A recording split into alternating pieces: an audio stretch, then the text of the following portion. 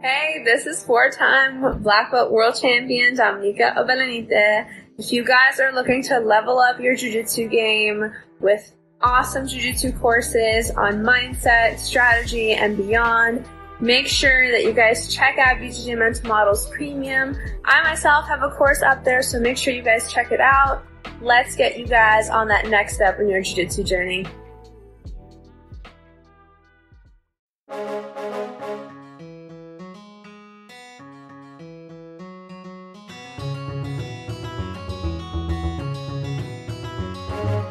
Hey, welcome to BJJ Mental Models, episode 230. I'm Steve Kwan. BJJ Mental Models is your guide to a conceptual and intelligent jiu-jitsu approach, and I'm happy to be joined again by my favorite old bastard, Mike Mahaffey. How's it going, Mike? I am doing awesome, Steve. How are you, my friend? I am also doing good. Just a quiet weekend over here. Have a, a little pocket to record, and I thought, you know what? We've got a lot of listener questions recently about injuries, injury prevention, grappling safely, staying competitively into your uh, later years. And I thought, I know the guy to talk to about that. The guy who literally wrote the book on Old Bastard Jiu Jitsu, Mr. Mike Mahaffey. Who better to talk to about injury prevention than you, sir? Uh, you are too, too kind. I haven't written the book yet. It's actually, honestly, it's in progress.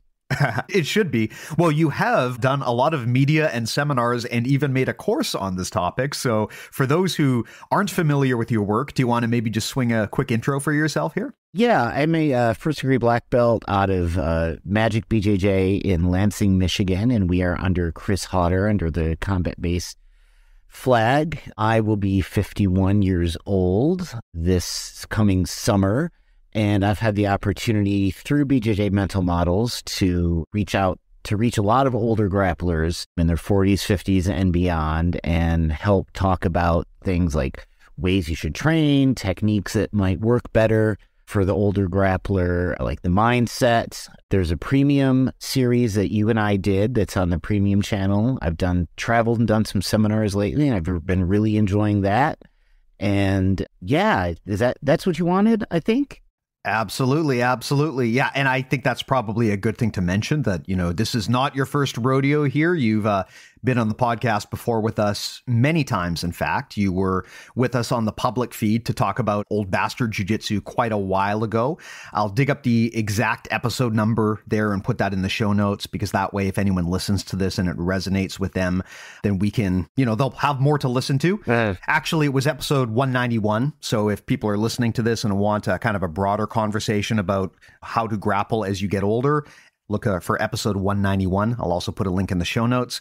And like you said, yeah, we did a whole five part premium course on the game plan for old bastards like ourselves in jiu-jitsu, and that's on BJJ Mental Models Premium.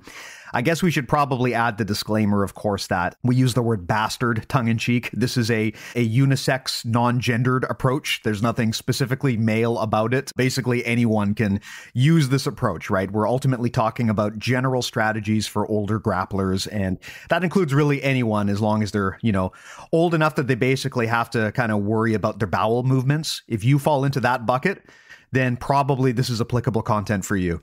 I think far too much about those things.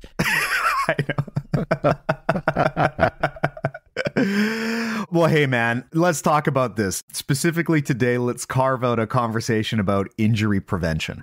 So, like I mentioned, I've got a ton of questions uh, and comments from listeners recently that kind of fall into this bucket, which is, hey, I'm older, or maybe I already have injuries, you know, my movement is impeded, and I'm concerned about either aggravating them or I'm concerned about getting new injuries. And really, I just want to stay safe but I also still want to be effective, right? I, you know, you don't want to just go in there and avoid injuries and be completely ineffective. You want to be injury free in a way where you can still grapple efficiently and effectively and get results. And so, with that said, I mean, maybe give me an update. Just talk about yourself here. I mean, I know that you, of course, as an older guy, you've had your own battles with injuries, but maybe give me a little bit of context in terms of how you know all of this stuff and where that info is derived from. Oh, well, the first disclaimer is I'm not a doctor, right? I'm a social worker. So I don't have medical training, but I have a lot of medical issues. yeah, like you said, you know, I'm I'm in my early 50s, so there's all the wear and tear on the body that comes with that. I've been doing martial arts and combat sports since I was 14 years old, consistently, like not a year on here, a year off there. Like I have not, other than being off the mat injured, I've not not trained martial arts since I was 14. So that's a long time of wear and tear on my body.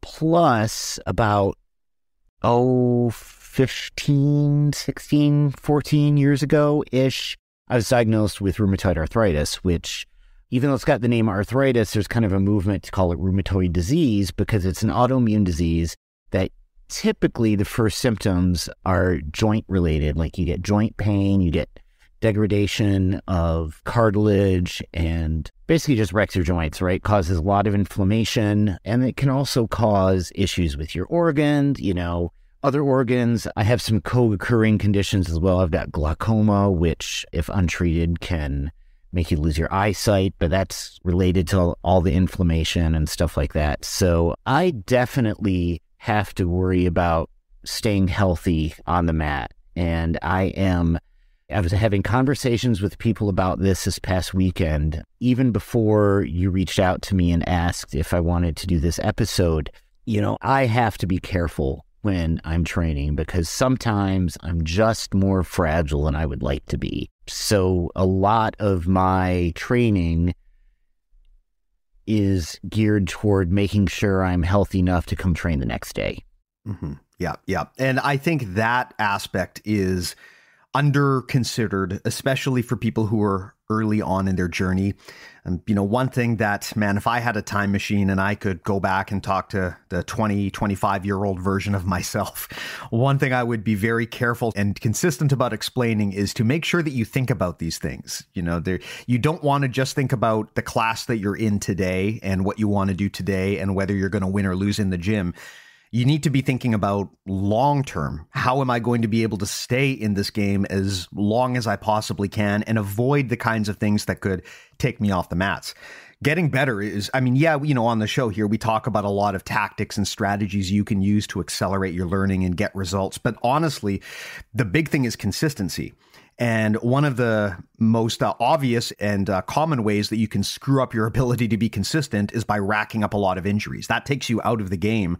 So this is something that I know a lot of younger grapplers especially struggle with is they they just don't want to take even a moment off of jujitsu to recover. They just always want to be training. And sometimes they're kind of, you know, trading some short-term wins at some long-term costs where maybe they're they're doing things in the class that are going to reduce their longevity, which you never want to do in a sport like jujitsu. Oh God, no. No, no, not not at all. Like I, I consider I think one of the important things to consider when it comes to injury prevention is your recovery is part of your training. Like that, that is not taking a break from training. That's part of your training. So making sure that your sleep is good, that your, you know, diet is healthy, that you have days off the mat, off of jujitsu. That's part of it. So I try to remind myself when, you know, oh, it's a day off of jiu-jitsu today and yeah, I'd really love to be on the mats, but this is like part of it for me. This is part of the lifestyle. This is part of making sure I can continue to do this as I keep getting older. So I don't think of recovery and training as two separate things. They're two sides of the same coin, so to speak. Yeah, yeah. And like we mentioned earlier, such a big part of this is uh, if you want to continue to advance your skill, and particularly if you want to be a competitor and you want to achieve your competitive goals, you have to remain consistent. Yes. And if you continuously try to train through stupid situations that are going to cost you later, you know, I don't know if that's a good thing. I don't know if it's a good idea to trade for a short term benefit at the expense of your long term career. And I think that's always something that especially younger grapplers need to think about when they're dealing with injuries is making sure they do the right thing to let it heal so that it doesn't nag them forever. Right. Right. No, yeah, I totally agree with that. Like it's very easy. You know, we love jujitsu. It's so much fun and it's a rush to be on the mats and we get to be with our friends and, you know, and let's be honest, as much as people say leave your ego at the door and, you know, there's no ego on this mat, as human beings, we have ego. That's just part of who we are. And so, especially if you're a competitor, I, I'm a competitor. I I love to compete. And yeah, my ego's wrapped up in that a little bit. Like I it doesn't feel good to have to take time off the mat when I'm injured or to, you know, have to slow things down when I'm, I'm ramping up for an event or something like that. But for the sake of being able to do jujitsu the next day, the next week, the next month, or the next year, you've got to take care of those little things when they pop up. You know, you can't train through, especially as you get older. Like when I was, I wasn't doing jujitsu back in my 20s, but I was doing other martial arts. I was doing a lot of striking. And like maybe I trained through some stuff in my late teens, early 20s, even early 30s, but you can't get away with that, especially as you get older. Like it comes back to bite you in the rear end. Yeah, yeah. And there's also just the aspect of life priorities. And in addition to that, just your tolerance for these kinds of things as well, because sometimes things that happen on the mats can impact your real life, depending on your job. Oh, yeah. Yeah, I mean, if you've got a job that requires some degree of movement and you injure your your arm or your leg in such a way that it impacts your career. As you get older that's something you really need to think about. When you're younger you kind of just power through or don't really think about it. But when you're older and you've got to balance you know family obligations with your ability to perform at work with your ability to just kind of you know be able to remain active into your later years these are things that you all start thinking about. Little things that you probably don't think about until you're older. Like i mean you know something I never thought about until I had a kid is look, I've got to make sure that I am in a physical state where I can move fast enough to run after and chase and catch my kid right. if she's up to something that you know that she shouldn't be doing. Like if she gets excited and runs into traffic or something, I've got to make sure I can move my ass fast enough to go get her. And these kinds of things start to eclipse other things as priorities when you start to get older, right? And so as you get older, most people tend to have reduced tolerance for injuries on the jujitsu mats. And I think that that's something that honestly, the youngins would probably be wise to listen to their elders on and to adopt that mindset earlier in their journey rather than later. Yeah, I completely agree.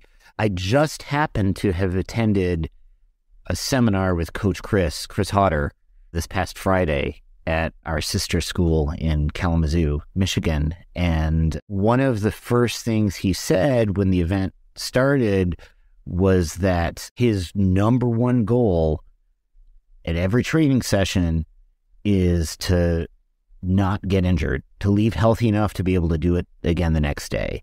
And that's the lens that he's looking at his jujitsu through. And he's just a few years older than me. He's not actually that much older than I am. I think he said he was 58. He still grumbled that he was the oldest person in the room, which was kind of funny. But he, you know, he said that's his main goal is to leave the mat uninjured. And, you know, that really resonates with me because, you know, you love this sport and you want to do it all the time. And, you know, you get jacked up and you can't do it the next day. And when, when you're older, it takes you so much longer to recover. So every time I go in the, to train, I went and trained this morning. We had an open mat, and my first goal was to leave uninjured. And there's different aspects to that, I think. You know, the first aspect is picking your training partners. I am very picky about who I actually roll with live. I don't pick training partners based on who I think I can beat. I pick them based on who's going to take care of me and make sure I don't get hurt to the best of their ability right? Like we know accidents do happen. This is a combat sport, right? It's impossible to I think we'd both be lying to your listeners if we said, "Oh, you know, train at this this kind of school, that kind of school, you'll never get injured." I think that's a fallacy that you you know. I chuckle when people say the gentle art jiu-jitsu. I'm like, "Oh, look at my body." but, you know, I I pick training partners on like who do I trust? Who who can I trust when I'm in a compromised position? Because I, I, don't care what rank you are, how good you are. Most average practitioners, you know, you're going to roll some people that are going to tie you up, right? And you have to make sure that you can trust them when that happens, right? So I won't roll with the new guy, the the 22 year old musclehead new guy coming in, right? Not until I get to know them, not until they've had, you know, a few weeks, a few months, maybe to kind of understand how to move their body through space, right? And and realize that every roll isn't a fight necessarily. That's that's what that's what young black belts are for. you know, I, I am not the mat enforcer anymore. You know, like that's not my goal. That's not my job. So I cherry pick my training partners, and you know, I, of course, I want to train with people that give me a challenge and help make me better but not at the expense of wrecking my body because I'm not going to get better if I'm off with an injury. Yeah, definitely.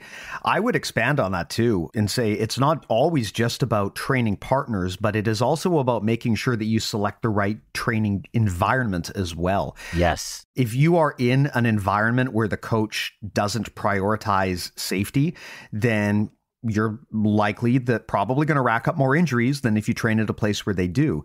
Now, the granted, that isn't to say that one approach is necessarily always better than the other. I mean, if you're training at a hyper competitive gym and your goal is to be the best in the world, you might have a different tolerance for this stuff and you might have different needs from your instructor.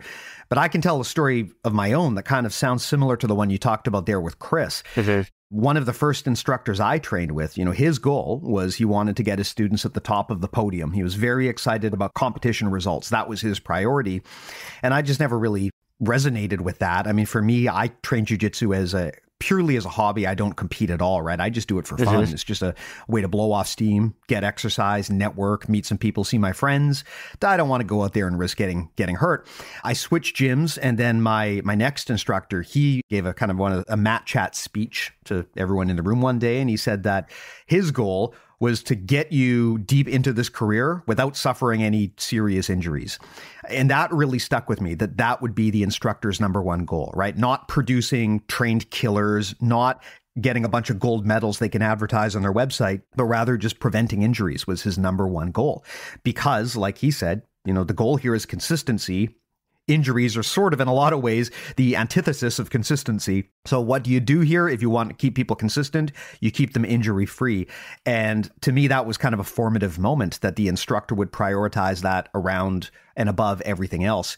And if I had stayed at the old environment where you know, injury prevention was a lower priority, I probably would have wound up on a much different path, right?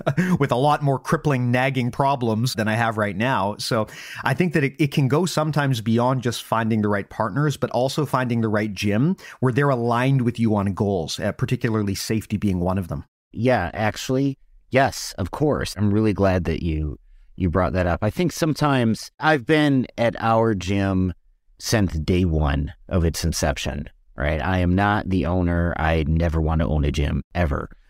I couldn't imagine that kind of responsibility. And, you know, I'm afraid gym ownership would make jujitsu into work for me, which then would just ruin the fun, right?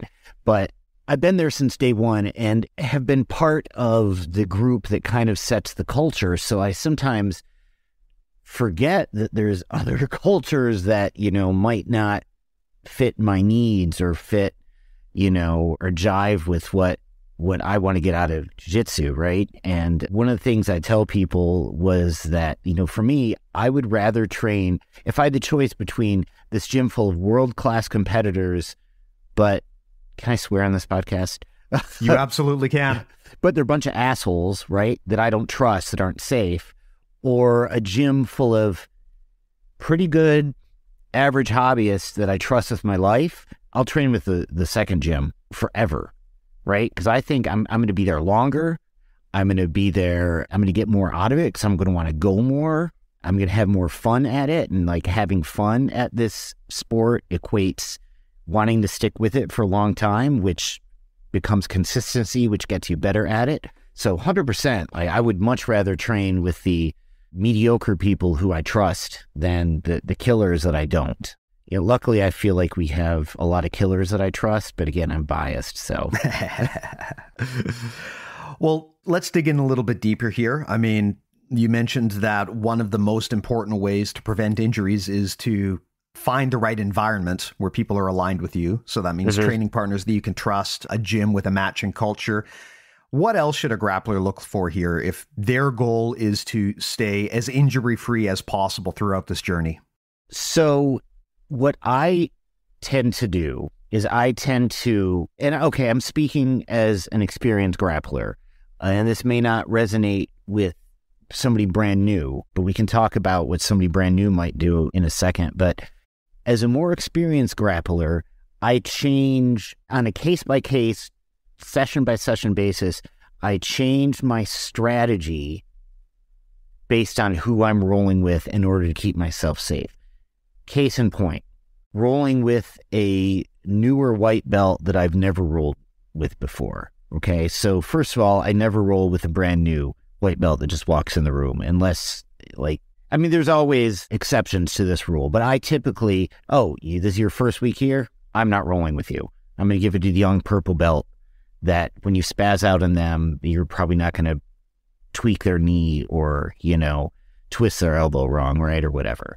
But when I'm rolling with somebody with less experience than me, I'm usually on the defensive, meaning I'm very unlikely to put myself in any situations where I'm more likely to get hurt. And that could mean either if I end up on bottom, everything is kept tight and I'm not taking any major risks to try to escape until I 100% am sure that it's going to happen. Or if I'm on top, I'm not relinquishing any control. I'm not playing loose with this person until I completely know that I can trust them. And that's learned from experience. I've made that mistake before rolling with the bigger, newer, younger guy who I was letting, quote unquote, letting him work. And I got into a superior position and he kind of panicked and made this violent movement. And next thing you know, I've torn an MCL in my knee because of said violent movement. So, you know, if I don't know you super well, I'm playing super defensive at the outset. Not, I don't care if you tap me, but I care more about be defending against injury. Does that, does that, you understand what I mean by that? Absolutely, absolutely. We've talked about this mental model on the show in the past that I've always just called limb coiling, right? Trying to keep your limbs kind of inside the vehicle at all times, keep your arms and legs and even your head sort of semi retracted and, and not to leave them dangling.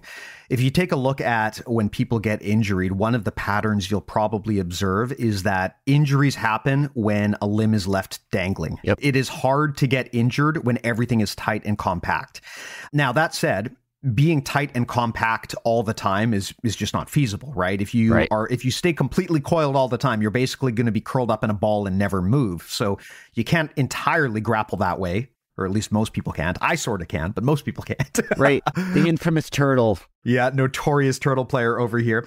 But the reality is to get anything going, you need to extend something. So you're always constantly having this battle of, okay, should I retract my limbs or should I extend my limbs?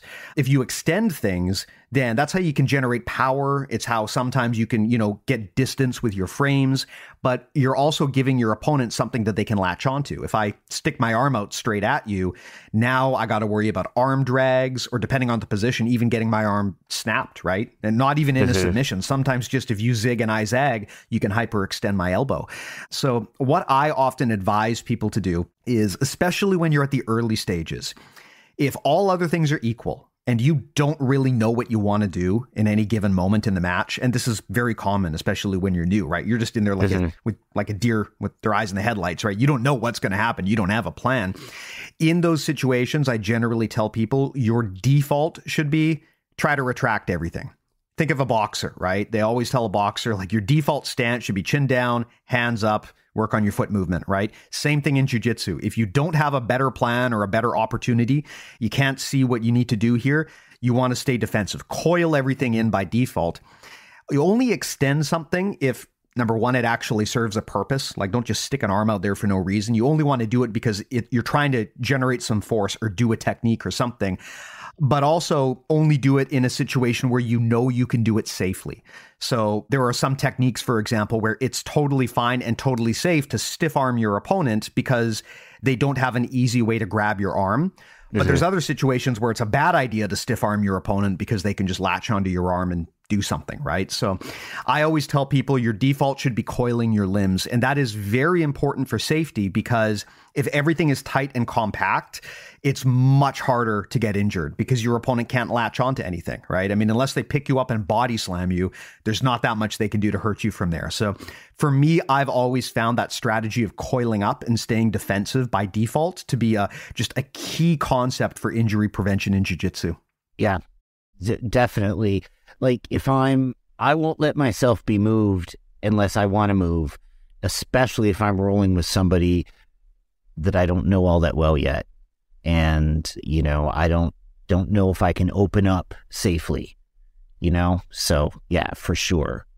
For sure. So yeah i guess that does that's a good strategy no matter what level of a grappler you are. I mean a day one grappler is not going to know to do that but hopefully the day one grappler is an environment where the coaches are going to make sure that their first few lessons are completely safe and that they're taken care of. Because when you're that new it's got to be on the coaches to take care of you. You you can't. Yeah. You know, as you get more experience, you can start like you understand how to take care of yourself and not get get hurt. But when you're a little baby grappler, you need the coach to help you out with that. Yeah. Yeah. You know, I also like I can't see this enough. Who gives a rat's ass if you get tapped? It's another injury strategy. Don't be afraid to tap to anybody, no matter what. Right? Like I actually tapped to some pressure last week because I like had an old rib injury that has decided to rear its head. And I was like, you know what? I'd like to be able to train tomorrow. So let's tap and let's go to another position and continue the roll because that mm-hmm. really sucks.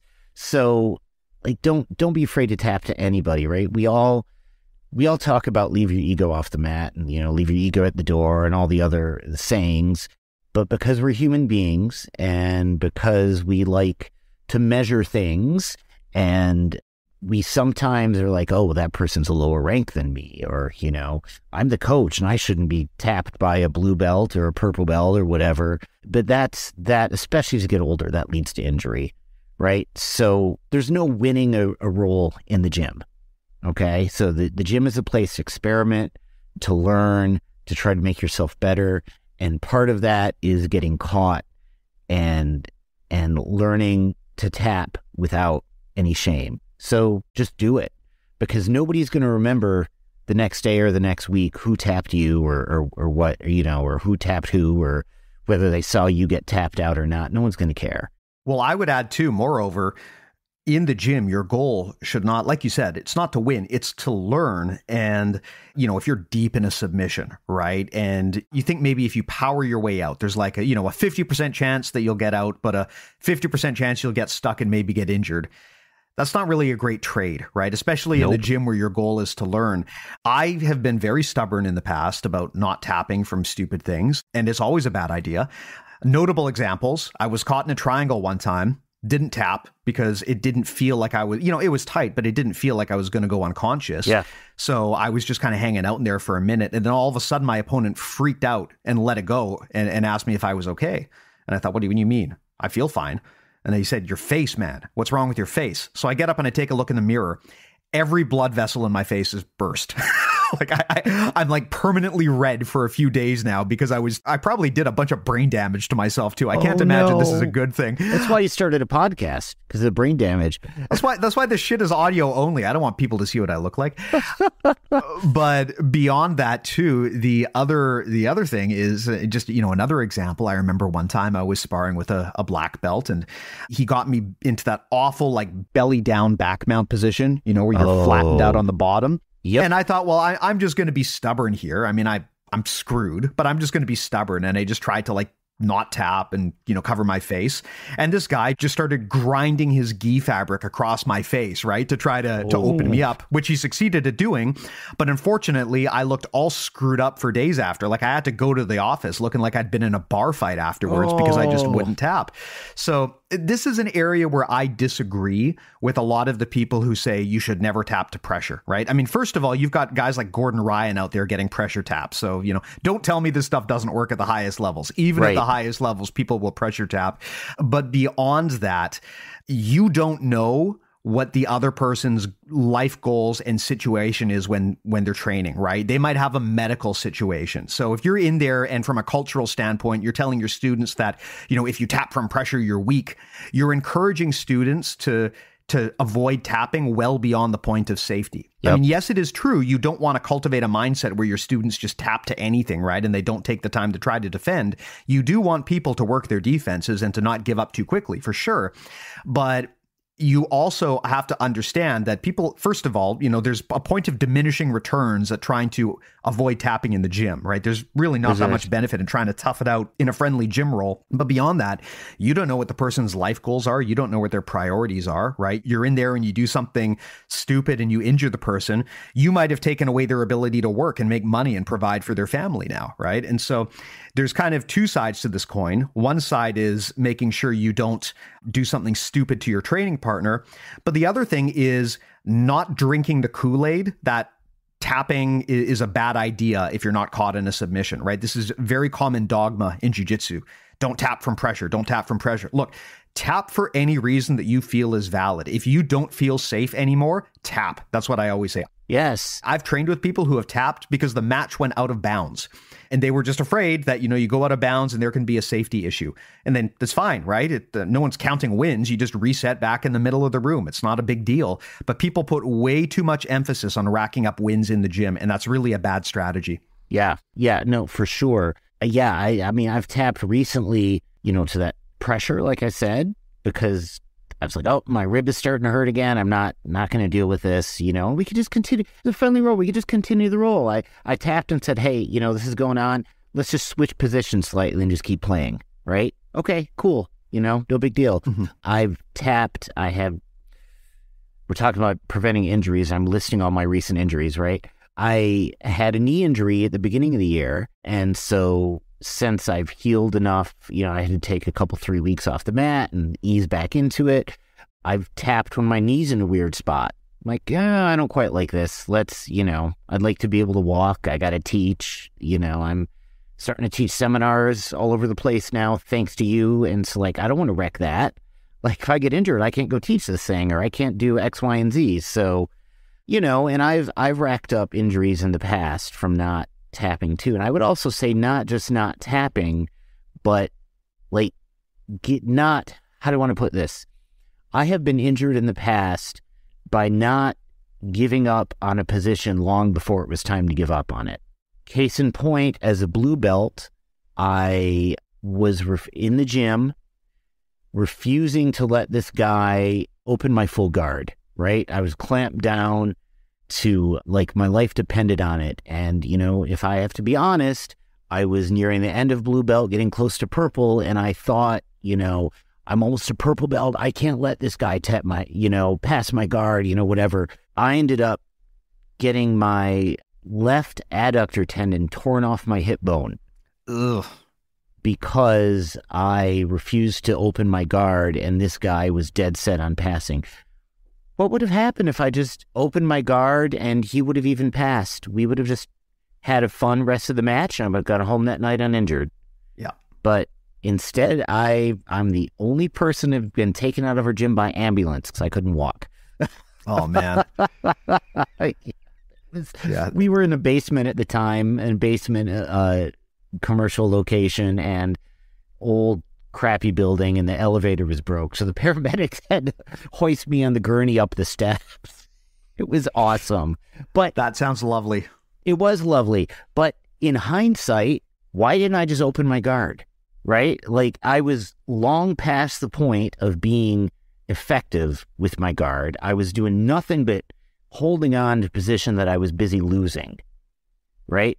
Why did I not open my guard and try to do something else, you know, even if I got passed, it was because I was too stubborn to, you know, to do that. My ego got involved. And I'll never do something like that again. Like I it was an awful way to learn that lesson, but I've never held on well, I mean not never, but like I, I won't hold on to positions for longer than than I need to. You know, always ready to transition to the next thing, especially if it's starting to feel unsafe, right?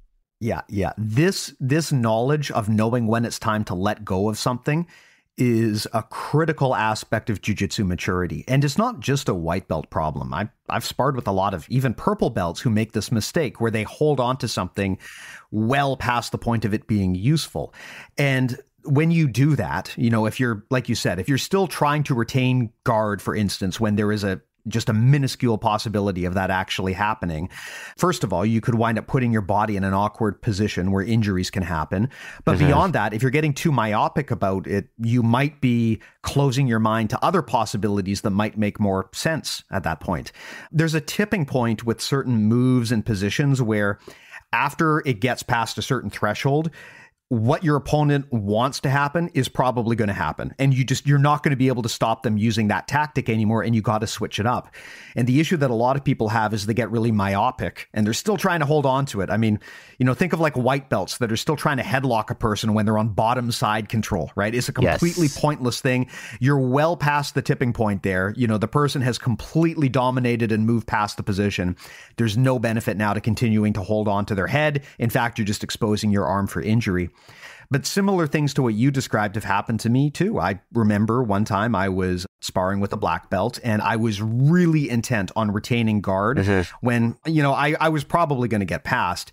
And I tried to do a, a high leg, you know, where you throw your top leg over to try to recover guard. But I did it at an angle that was kind of outside of my body's regular movement range and I tweaked my knee. And that was, that was on me, right? That was because I tried to move my body in an awkward way because I didn't like where the match was taking me and I wanted to try to force things in a different direction. And it was too late to do so. We were past that tipping point. So learning when to let go of something is a critical bit of jujitsu maturity. And it's also critical not just for injury prevention, but also just to avoid making dumb mistakes. You know, the right. example I gave earlier people who try to headlock you from bottom side control. You do that, and even if you don't get injured, you probably will get arm locked. Right. so it's not a good idea one way or the other. You got to learn when it's time to move on to something else, especially when you're on the defensive. Right. And even, I would say, even in competition, right? I mean, we're doing a lot of talking about, about hobbyist jiu-jitsu, which is by far the hobbyist community far outnumbers the competitor community. And then the far even by more so far outnumbers the like elite competitor community, which I am in nowhere near like the elite competitor community, right? But like even in competition, you got to know when to let something go, when something is when it's past its prime, when you've reached that tipping point, because you don't want to get hurt in competition either. I'll admit live on the air that last year at, at Master Worlds in Vegas, I had one match and I lost by sub and the guy was doing like a paper cutter choke, right? A bread, you know what I mean? Like from top side control, and I was on the bottom, stuck underneath him. Was it a paper cutter or I can't remember what? We had my gi and he was choking, and it wasn't choking me. Like it wasn't around my carotids, but it was cranking the bejesus out of my jaw and neck. And I was not getting out. Like I could not improve my position. So I tapped. And it went through my mind very clearly like, okay, I'm not getting choked and this is Master world, but you know what? I can't get out from this position. And if I try to survive this, it's just going to end up hurting my jaw and neck. And I really don't want to leave Vegas with a broken jaw. so this guy's got the better of me. He wins. It's the he's he's a better grappler today. Like I I can't get out. There's no disrespect meant to this gentleman if he I don't even know who he is. If he hears this, it was a great match. You won fair and square. The choke wasn't in, but I wasn't going anywhere and I would have gotten hurt. So, you know what? I'm tapping. I'm going to enjoy the rest of my time in Vegas. Yeah, that ability to know when there's no point in trying to fight anymore is super critical. Knowing when, okay, realistically, no matter how hard I fight, I'm done here, right? There isn't a realistic way that I can get out, or maybe the chances of me getting out are really small, but the chances of me getting injured if I try to fight this are really big. That's a bad trade, right? And right. learning to kind of do that mental math and, and not making those bad trades is a critical part to staying on the mat for the long term. Right, right. Oh, exactly. And you know what? I was fine. I didn't beat myself up for losing that one match. Like he obviously he won fair and square, and he was by far the better grappler that day. And I enjoyed two or three more days in Vegas with my team and friends, and it was great. You know, I didn't have to suck smoothies through a wired shut jaw It was perfect. it was a good time. so yeah, like like knowing when to give stuff up and knowing when to tap and not being ashamed to do it is a huge piece of not getting injured on the mats. You know, and then I would also say another thing that I think is super important is not overtraining, you know, because when we it's it's been shown that that overtraining reduces your body's ability to recover. It reduces your immune system's ability to fight off infections. And, and it's so easy to overtrain in jujitsu, right? It, because it's so much fun. And we always want that one more roll, you know, we always want that, oh, that one last, one last match at the open mat or, you know, one more roll at the end of class. And so many times I personally have done that one last roll when I'm already exhausted and then something gets tweaked or I get injured. And so one thing that I'm working on is for myself is leaving training with something left in the tank. Not every session should not be, you know, to the end of my reserves where I can barely walk off the mat, you know, especially as I get older. Yeah, yeah. It's funny because we all know that one of the you know one of the things that everyone preaches in jujitsu is growth from discomfort, and the idea that mm-hmm. if you want to grow, you have to push outside of your comfort zone, and that's true. But it's a bit of a science. It's very possible to push outside of your comfort zone too far. Yes. And in fact, you probably have actually worked with this concept, this idea of the zone of proximal development, right? It, you want to push yourself outside of your comfort zone and challenge yourself a certain amount but not too much, right? Because I mean, look, while it's true that yes, we grow from discomfort, you know, jumping off a cliff is very uncomfortable. That doesn't mean that you should all jump off of a cliff because it's uncomfortable. There's a limit, right? There's a point right. at which too much discomfort is damaging. And so there's that magic sweet spot where you're pushing yourself outside of your comfort zone such that you're learning and you're growing, but not so much that you're taking on risk to yourself. And that's kind of something that I think people always need to be balancing, right? It's easy to fall into this trap of of comfort where you you get into a routine and you're not doing different things anymore and you're not growing but you also want to avoid being reckless where you're taking you're doing so many risky things that it's going to come back and bite you most likely at some point so i'd say that there's some mental math that we all have to do if we want to remain in the game for a long time here yeah, yeah, no, I for sure. I completely completely agree. And like that that also ties into my training schedule is I'm usually training jiu-jitsu 4 days a week, 4 times a week. That seems to be pretty optimal for me. And then I've got 2 days of strength training a week. I'm working out at my age 6 days a week, but I have to be very disciplined I have to discipline myself and make sure that I do four days of jiu-jitsu and two days of strength training. Because strength training also is really important for me in order to stay injury free. Because like muscle is my armor against injury. Like I'm not trying to get buff and shredded because you know, I mean, I'm married already. I don't need to attract anybody else, right? so you know, I'm not trying to get buff and shredded. I'm trying to stay injury free and be able to stay on the mats. And it takes some discipline to do that because I'd much rather be rolling. Mm-hmm. like I I lift weights and I kind of enjoy it, but the only reason I do it is so I can stay healthy for jiu-jitsu. And I found in the past when I start skipping those days for some extra jiu-jitsu training, that's when I really get hurt. That's when the the shit hits the fan for me is like I've totally lost track of that that very important piece of conditioning off the mats. And I just get rolled up doing jiu-jitsu five, six, seven days a week for a month, two months, three months, and then bam, something gets hurt. So like not only do I have to be smart enough to temper my training like on days when I'm training jiu-jitsu and not overdo it then, but I have to be smart enough to stay disciplined and be like, you know what? Today's not a jiu-jitsu day. Today's a recovery day or today's a, a weightlifting day and that's what what it's going to be and i'm not going to give in to that temptation to just do what's fun and gives like the immediate immediate reward of getting to roll because if i do that enough i'm going to be off right i'm going to get hurt and i'm going to be off right right makes sense that's really hard that's hard because jiu-jitsu is so fun Yeah, yeah. Well, hey, we've talked a lot about kind of big ideas here, just general overall concepts, but I'm sure people out there are going to want to hear specifics from us. So, mm-hmm. are there any specific things that you do or don't recommend? Like, don't play this position, don't use that technique. Is there anything that granular that we can provide as general advice, or is it too dependent on the scenario? No, I don't think it's dependent on the scenario. I think your fundamental Brazilian Jiu Jitsu movements and techniques are going to be what's going to keep you the safest on the mat. And by fundamental, I mean things like having good base and having good posture and having good alignment and techniques that have the fewest, how do I want to say this? I know what I mean. How do I want to put it in words? The fewest moving parts and the least explosive movement are going to be the best. And granted, I'm biased, but that's basically old bastard jiu-jitsu. Yeah.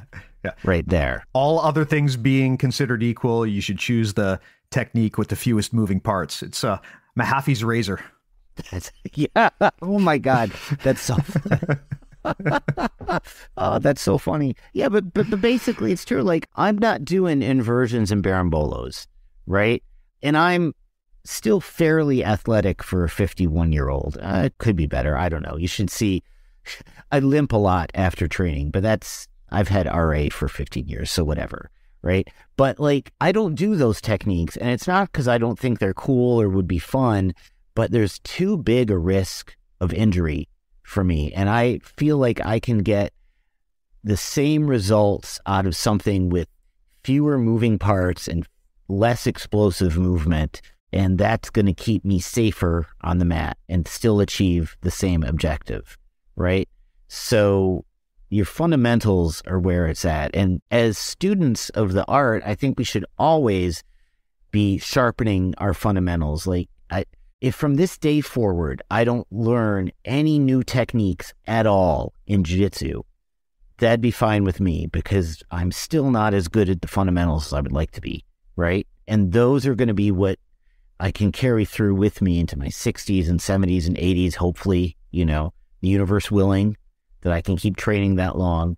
And it's going to be, those are going to be the things that are going to have the least likelihood of me getting hurt. Yeah, yeah, yeah.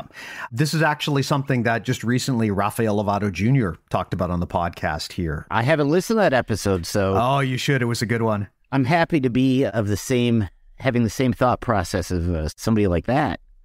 Well, the big thing that he always pushes is this idea of timeless jujitsu techniques that you can work on and build upon for your entire career and always get better at. The problem with a lot of techniques is if they're, you know, if they're trendy and you're chasing the meta, they might lose their effectiveness as soon as people kind of catch on or maybe the techniques are just kind of dependent on a young athletic limber body type that Uh, either a lot of people don't have, or even for the people who do have, they will lose it eventually, right? Those kinds of right. attributes don't stay with you forever.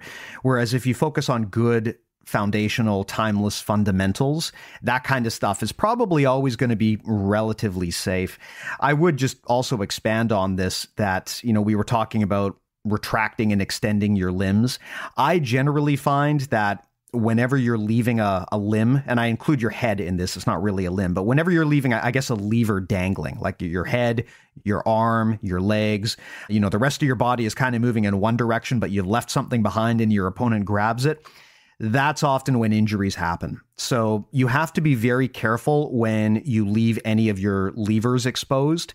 And some techniques do this more than others. As an example, if I, I'm just trying to think of a, a good one here, right? If I put you in a rear naked choke, there's not a lot of stuff that I'm leaving exposed there, right? right. I, I can be relatively sure that I can do this technique safely. If, on the other hand, we're talking about like a berimbolo, I have to at some point push out and extend my legs and rotate my body. There's a lot of things that are happening all at once. You have to be very fluid and very experienced to be able to pull something like that off and make it work. And there's going to be a risk of injury, right? If you have your legs entangled with your opponent like that and you zig and they zag, bad things can happen. So that's not to say you should never do those techniques because clearly they work. And if your goal is to win in a competition and you're willing to accept that long term injury because the competition matters that much, well, that's that's a decision that you can make. Right. But if your goal is longevity, it's important to understand that not all techniques are created equal. If you're leaving something extended, if you're leaving a limb behind, that's when injuries can happen, right? And often this is what happens when people get injured in scrambles is people will be kind of throwing their bodies around and they don't really know what position they're in. You leave your leg behind, your opponent sits on it, your knee snaps, right? That kind of stuff can happen. So I think that a lot of injuries probably arise from people just not having full body awareness and leaving a body part behind yes. when they're trying to do something else.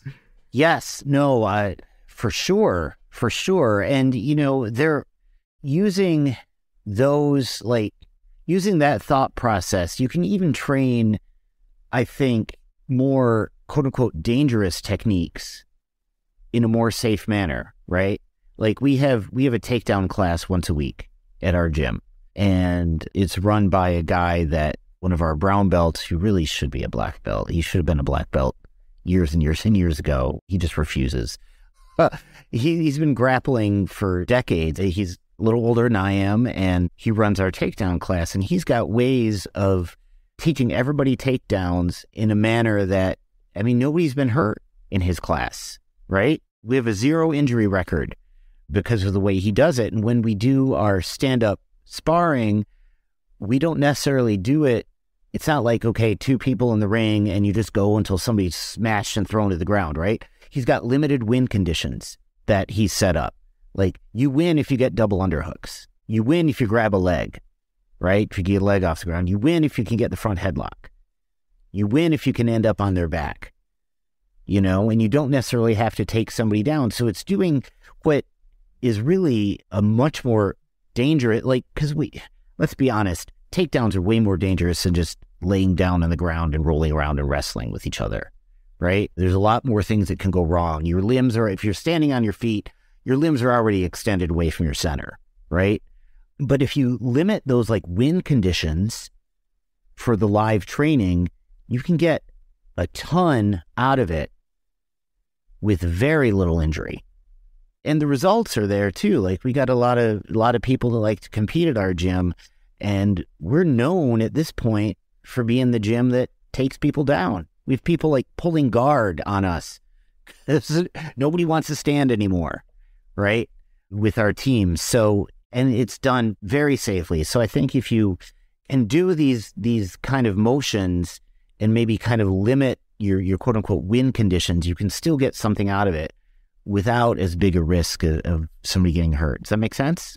Absolutely, absolutely. I mean that what you're talking about there, it's kind of like a constraints-based approach, right? right? Where you're you're altering the rules of the game so that you're removing the things that could potentially lead to injury and could reduce training time but you're leaving in the things that are realistic and helpful for training.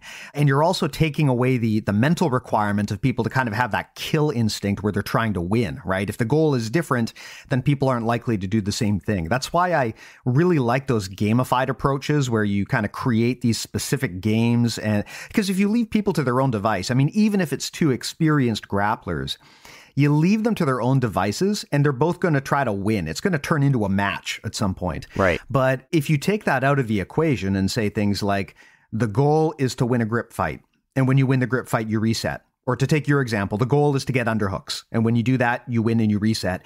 That turns it less into a fight and more into a collaborative drilling game. And that is probably going to be better, not just for injury prevention, but also for skill development because you're giving people more targeted reps at doing the thing that actually matters. Oh yeah. Yeah, yeah, for sure. For sure. I mean, if if this approach could get me comfortable and enjoying takedowns, then it can get anybody comfortable during takedowns. Trust me. I was terrified of takedowns. well, takedowns are scary, right? I mean, one of the beautiful things about jiu-jitsu and probably one of the reasons it's so effective for casual grapplers is because it is a totally valid strategy to deny your opponent the ability to move, right? I don't need to have the greatest cardio in the world. If I can tie you in a pretzel and prevent you from moving, that's a valid strategy. Mm-hmm. Whereas if you look at judo, especially the stand up side, so much of it is about getting your opponent moving, right? Getting that kuzushi so that you can throw them. And when things are moving fast and furious, it's harder for you to put on the brakes and prevent an injury. You, you don't always have the same kind of bodily control when you're flying through the air at 100 kilometers an hour, right? So, right, right. Yeah. So that is one reason why I think jujitsu is so appealing to people like us, is because you can slow it down and you can make the game be safer if you so choose. Mm-hmm. Yeah, for sure. For sure. Nice. Well, hey, Mike, that's a lot of good stuff here. I got notes on this. I'm going to actually send these out, but uh, just to to recap, to go through kind of the big pointers that you had, and tell me if I missed anything or if mm-hmm. there's anything else that you wanted me to bring up. Number one, pick your training partners in gym. That's such a key part to injury prevention is having the right people to train with and the right environment to train in. Number two, changing your safety strategy per opponent. So for example, you know, if you feel unsafe coiling everything up, you know, you don't have to you don't have to spar with people who make you feel unsafe and if you are sparring with someone where you've got question marks, you can always kind of pull everything back in and just play safe until you know that things are okay. Mm-hmm. Number 3, it's okay to tap to anything at all. There's no situation where tapping is unacceptable regardless of what people might tell you. Number four, knowing when to give up on a position rather than holding it to the point of it becoming ineffective or dangerous. Number five, avoiding overtraining. Number six, knowing if a technique isn't for you. This is something I actually, that occurred to me, which is probably worth discussing briefly. People just have different bodies. Sometimes something might work great for 99% of grapplers, but it just might not work out for you. I mean, I've got a few moves like that where eh, no matter how much I try them, it just doesn't feel right for my body type. Perfect example, and I think I've talked about this on the show before, is the truck. Every time I tried to do that, my knees hurt. And I just kind of yes. realized at some point, you know what? I got enough options that I don't need to to pull out this tool that could potentially hurt my legs. I got lots of other things that I could do. So I think at some point, yes, you want to try techniques, but you also have to listen to your body. And if something doesn't feel right or feel safe, you should listen to that intuition. Yeah. I would say number seven, don't leave any levers exposed or any body parts dangling. Number eight, this kind of ties into what we talked about before regarding win conditions, but employing smart training constraints. So making sure that you you alter the rules of the game so that the focus is on safety and skill development and not on winning in the gym. Did I miss anything, or is that kind of the the big list here that you think is worth covering? No, I think that is I can't think of anything. I had a list too, and that's everything I had as well. Great minds and all. awesome. Well, hey, that's a pretty good list then. Anything else you wanted to bring up on the topic of injury prevention? Any closing thoughts or things you wanted to share? No, not not really. Learn from my mistakes because I've made all of them over my career, right? Like like I, I none of this stuff that we talked about today am I pulling out of my rear end and making up. Like these are all things, these are all rules that I've broken at some point in time and paid the price. So, yeah, yeah. like, make if I can help, if we can help anybody who's younger or earlier on in their grappling career, no matter what age they are, like to avoid some of these these pitfalls and do some of the things we talked about, then that's that's time well spent in my book. So yeah, I can't think of anything else unless you can. Uh, that sounds good to me, man. Well, hey, if people want to learn more from you, of course, in episode 191, we had an amazing chat about your overall jiu-jitsu philosophy. I do encourage that people go back and listen to that, and I'll put a link in the show notes. And of course, if people really want to dig in, you and I did a whole premium audio series on this, uh, I think over five hours long on Old Bastard Jiu-Jitsu on BJJ Mental Models Premium. So yep. again, I'll, I'll link out to that as well.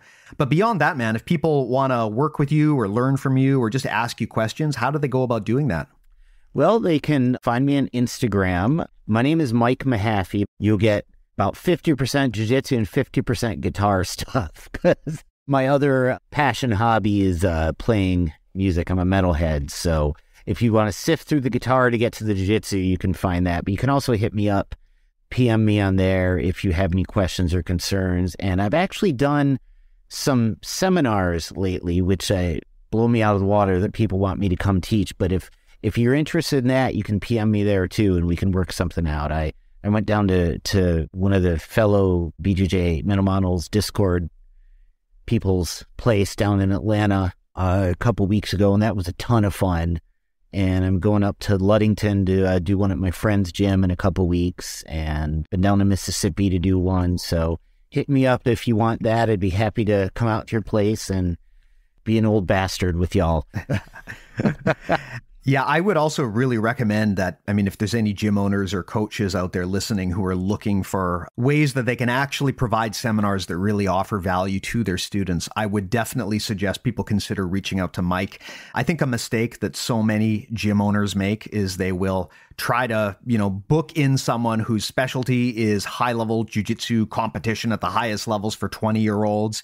And that's all well and good and all. But honestly, you have to ask yourself as the instructor, are you offering that because it's the best for your students or are you offering that because you're trying to kind of like create and live out glory in your students and you're trying to steer them in a certain direction? Because if your gym is like most gyms 90 plus percent of the people there are hobbyists right? They want to train safely they want to have fun they want to get better but look they're not looking to devote their entire life to jiu-jitsu competition.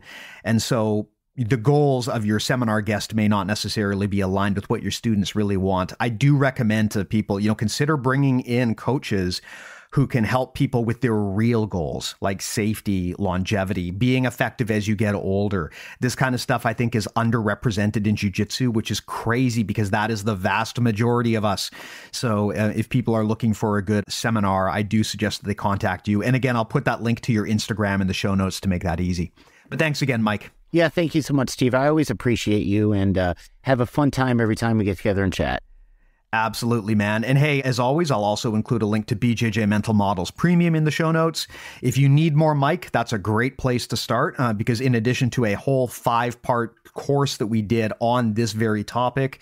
Mike, you're also on our rolling review team. So if anyone has rolling clips and they want to know, you know, how can I be more effective while also being safe and possibly dealing with a bunch of scrappy youngsters? Mike is my go-to coach for those kinds of questions. So if you fit into that profile and, you know, you're not close enough where you can go train with Mike or he's not coming to your area for a seminar soon, you can still get coaching from him by joining BJJ Mental Models Premium. So I will put the link in the show notes there there as well. But Mike, man, I always love chatting with you. Thanks a lot for coming by and uh, take care of those joints, man. I will. You too, Steve. Thanks so much, my friend. awesome. Thanks. And thanks to the listeners as always. Really do appreciate it. And we'll talk to you next week. See you soon.